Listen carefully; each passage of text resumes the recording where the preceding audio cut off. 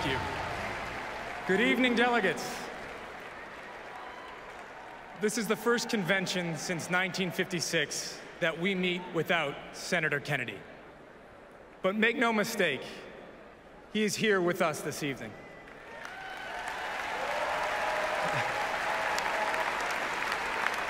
I see him in the passion of our delegates, the character of our candidates, and the causes that unite us. For my Uncle Teddy, politics was always about people. He was from a big family, and he understood that lives are measured not by line items in a budget, but by first days of school, last days of summer, by promotions won and jobs lost, new homes, broken hearts, baptisms, funerals, and every precious moment in between. I remember campaigning with him once in Texas for then Senator Barack Obama. We showed up at a hall in a small border town with only a handful of voters to greet us. He didn't care. There were working folks who had come out to support our candidate. Uncle Teddy got up, raised his hands, and belted out, Ay, Jalisco, no te rajes, in a strong Boston accent.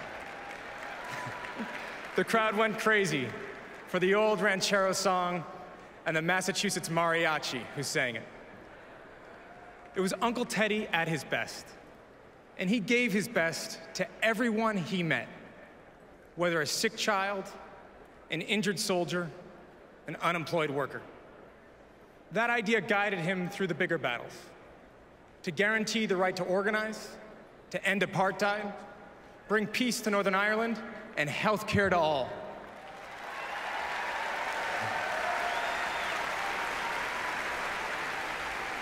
It guides us, and it guides us in the tough campaign ahead as we fight for our middle class and an economy that's built to last, defend a woman's right to choose, keep a college education affordable, protect our seniors' retirement security, and ask every American to do their part to safeguard the promise of this country.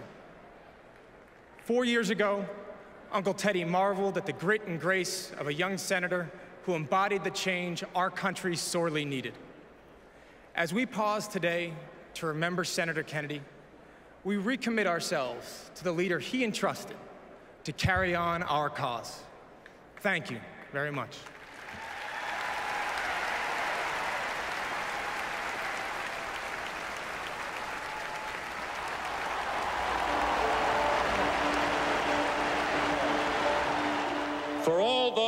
Whose cares have been our concern, the work goes on, the cause endures, the hope still lives, and the dream shall never die.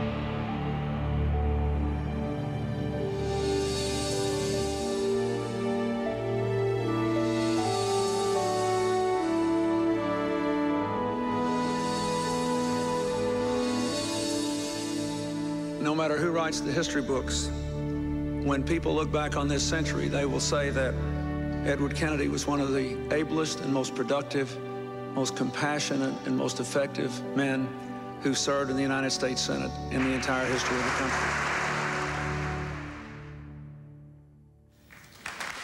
Now to Boston as we show you live coverage of the debate between Democratic incumbent Edward Kennedy and his Republican challenger, Mitt Romney.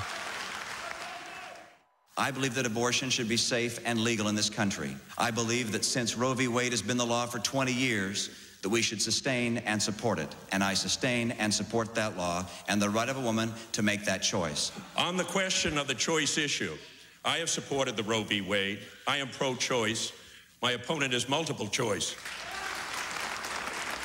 When, uh, Mr. Romney, are you going to tell the people of Massachusetts which health care program you favor?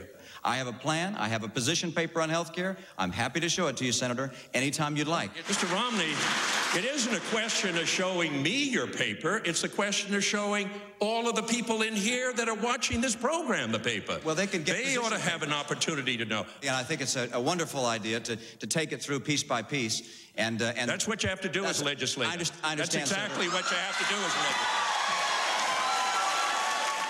Now he's for family leave. Now he looks like he's for minimum wage. Now he's for education uh, reform. If we give him two more weeks, he may even vote for me because those are the things I am for. Mitt Romney called me to congratulate me on being reelected to the United States Senate. The best way to find out about what a party will do is what it, that it has done. Uh, we were the ones that brought higher education, the Medicare programs, the Medicaid uh, programs, knocked down the walls of discrimination. We brought a sound uh, economy, a sensible foreign policy. Those are the, the essential values of the Democratic Party, aren't they? I love this country. I believe in the bright light of hope and possibility. I always have, even in the darkest hours. I know what America can achieve. I've seen it. I've lived it. And with Barack Obama, we can do it again.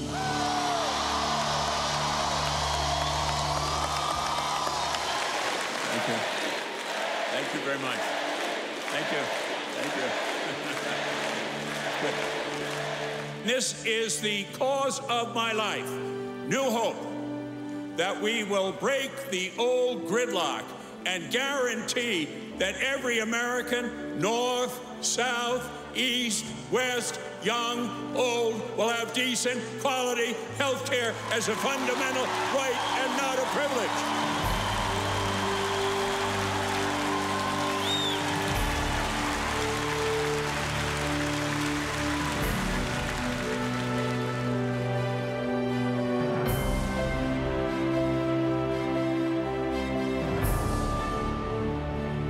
Today's decision was a victory for people all over this country whose lives will be more secure because of this law and the Supreme Court's decision to uphold it. If Teddy were here, he would tell us now it's time to roll up our sleeves, get to work, fully implement the law, and move on with the business of, of our country. This one was a long time coming, and it's one that I knew um, my husband would have loved to have seen. Everything he did was about the future. It was about going forward. It was about passing the torch to a new generation.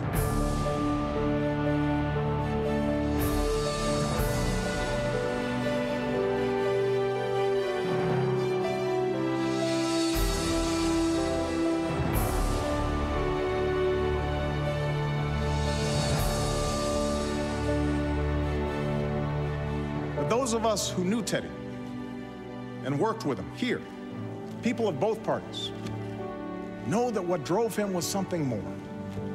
Ted Kennedy's passion was born not of some rigid ideology, but of his own experience. That large heartedness, that concern and regard for the plight of others is not a partisan feeling.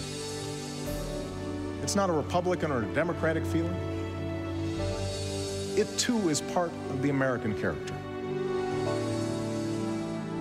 Well, I've never uh, shied away from being called a, a liberal, but what I have done is stand up for my beliefs. The work begins anew. The hope rises again. And the dream lives on.